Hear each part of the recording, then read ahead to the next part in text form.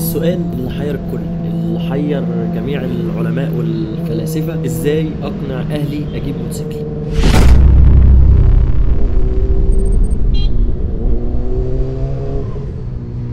خلينا متفقين إن السؤال ده غلط وإن أنا أو أي حد غيري ما ينفعش يقول لك أنت تمشي على واحد اتنين تلاتة هيبقى معاك موتوسيكل. أو أنت في خلطة سحرية لو عملتها هتقنع أهلك إن هم يجيبوا لك موتوسيكل. السؤال اللي أنت المفروض تسأله لنفسك هو ليه الأهل بيرفضوا موضوع الموتوسيكل؟ أقول لك مثلا عن نفسي لما كنت بقول لهم عايز موتوسيكل ألاقي مثلا والدي ووالدتي يقولوا لي يا ابني ده اسمه موتو سيكل موتو يعني الموت الأول بعد كده السيكل الموضوع خطر وبتاع. ففكرة الأهل عندهم متكونة الحاجة ديت خطر جدا. تاني شيء أهلك وابوك وامك خصوصا هيخافوا عليك أكتر من عينيهم. زي ما بنقول الشخص الوحيد اللي في الدنيا دي كلها عايزك أحسن منه هو أبوك. فعايز أقول لك برضو إن حتة الأمومة ديت هتلاقيها كبيرة جدا. وامك أكيد هتخاف عليك. وأنا فاكر أمي على طول بتقول لي أنت مش هتحس بخوفي عليك غير لما تخلف والجو ده. أنا يا أمي أنا عارف إن أنت بتشوفي الفيديو دلوقتي وأنا عارف والله إن أنت بتخافي عليا وأنا بحبك جدا والله. المهم سيبنا من الحوارات العائلية ديت ونرجع تاني. بص يا صديقي خليني أقول لك إن أهلك لما يشوفوك شخص مسؤول هيدوك عليهم. حرفيا هيدوك عليهم. بس شخص مسؤول دي يعني إيه؟ تسمع كلامهم. مش بيجيب لهم مشاكل كتير. مش آه، واحد طايش بيقدر الحاجة اللي معاه. لما مثلا تاخد عربية والدك ما تتهورش بيها؟ مش كل يومين ثلاثة عامل حادثة؟ أصحابك أصحابك اللي حواليك حاول تنقيهم؟ عشان دول فعلا هيبقوا واجهه ليك قدام أهلك. فيا صديقي حاول تنقي أصحابك اللي أنت بتتعامل معاهم واللي أنت بتقعد معاهم. تاني حاجة إحنا المعايير عندنا اختلفت زمان غير دلوقتي. والمعايير دي بالنسبة لإيه؟ يعني مثلا كنت تلاقي مثلا يقول لك إيه؟ إن مفيش بنت بتركب سكوتر والجو ده. لا دلوقتي ما شاء الله في بنات كتير و...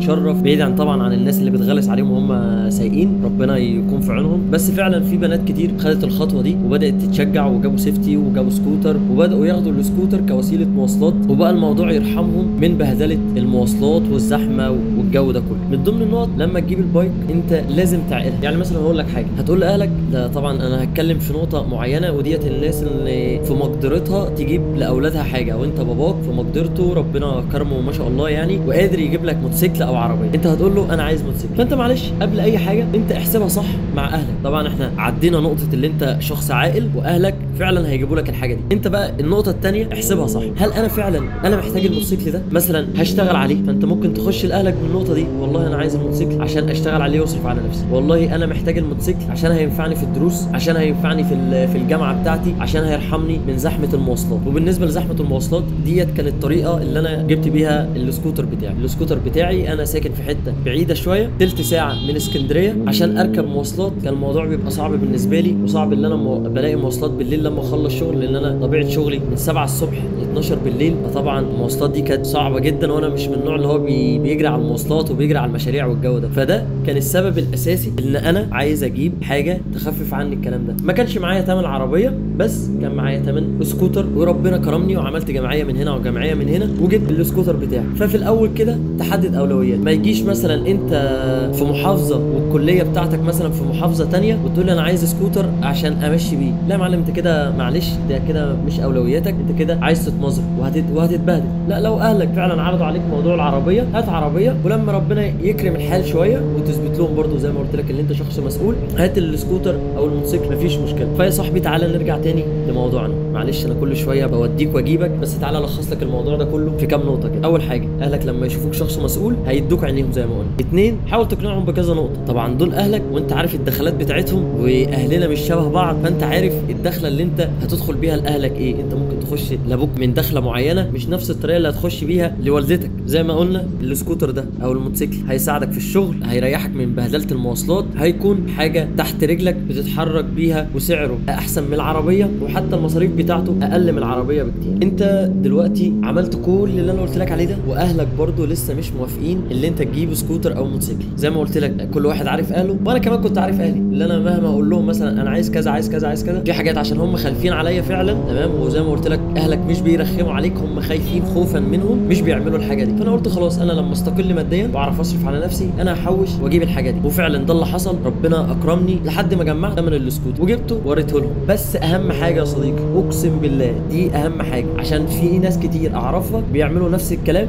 يروحوا جايبين الموتوسيكل أو السكوتر ويخبوهم وما يقولوش لاهلهم إن هم جابوه أصلا. فبالتالي أهلك مش هيبقوا راضيين عليك لأن هم مش راضيين عن الحاجة دي. أهم حاجة يا جدعان أقسم بالله رضا أبوك وأمك. تاني أهم حاجة أهم حاجة أهم حاجة رضا أبوك وأمك لأن دوت اللي هيمشيك وهيسترها معاك بعد ربنا سبحانه وتعالى. ما تخليش بقى كتر الزن على أهلك عشان يجيبوا لك الحاجة. طبعا وأنت بتقل أدبك عليهم معلش يعني آسف في, الكلمة طول ما أنت قليل أدب معاهم وبتزن وأنا عايز ده وأنا عايز ده وأنا عايز ده. آه هيجيبوا لك الحاجة بس هيجيبوها لك وهم نفسهم من جوه مش راضيين عليها. فهتلاقي ربنا اقسم بالله ربنا ما هيبارك لك في الحاجة دي ابدا. سواء بقى كانت موتوسيكل أو غير ربنا مش هيبارك لك فيه. وهتلاقي كل شوية الموتوسيكل بيعطل الموتوسيكل بيحصل له حاجة. وهتلاقي نفسك بقى إيه اتكونت بقى في دماغك آه ده أنا محسود.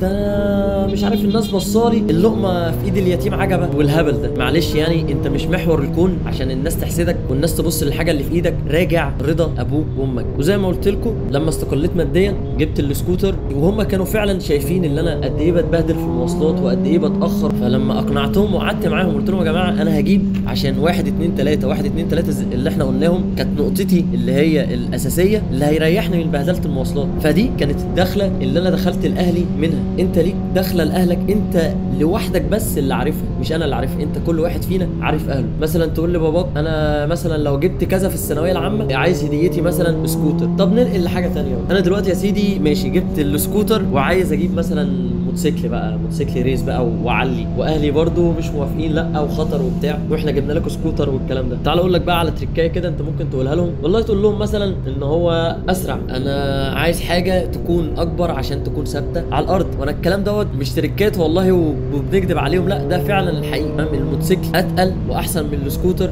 الموتوسيكل الكاوتشات بتاعته أعرض. يعني أنت مثلا لو خدت لا قدر الله لا قدر الله يعني لبست نقرة بالسكوتر ونقرة بالموتوسيكل. ال- الموتوسيكل عشان كاوتش عريض أنا بتكلم على مثلا الريسات مثلا. كاوتش عريض أنت ولا أكنك أنت أكنها حتة زلطة كده أنت عديت عليها. لكن الموتوسيكل لا هتحس بيها وممكن لا قدر الله تقع. فدي بعض النقط اللي أنت تقولها لأهلك عشان يفهموا ليه انت عايز تجيب موتوسيكل. والله أنا دلوقتي اتمكنت فانا عايز موتوسيكل. من ضمن النقط برضو اللي انت تركز عليها ما تكونش جايب السكوتر وانت ما بتلبسش أصلا خوذة. لازم تثبت لأهلك أنا خايف على نفسي فعشان كده جايب safety هو تلاقي أنا من ضمن الناس والناس اللي كانت بتطلع معايا شاهدة على الموضوع ده أنا كنت بلبس full safety على سكوتر م- 150 فاه الناس كانت بتضحك عليا إيه يا عم هو انت سايق 1000 أنا اشتريت حرفيا ال safety قبل ما أجيب السكوتر بأسبوعين. يعني أنا حوشت فلوس ال safety فأنت لازم تكون مسؤول وتخاف على نفسك وأهلك لما يلاقوك أنت خايف على نفسك وتقول لهم آه أنا عايز أجيب موتوسيكل أحسن. أكيد مش هيقول لك لأ لأن هو شايف قد إيه أنت إنسان مسؤول. معلش لو كنت طولت عليكم بس أنا حبيت أقول لكم كل اللي أنا أعرفه والتجارب اللي حصلت معايا. لو ما كنتش لسه اشتركت في القناة يا ريت تشترك دلوقتي وما تنساش تعمل like واستنى الفيديو بتاع الأسبوع الجاي. سلام.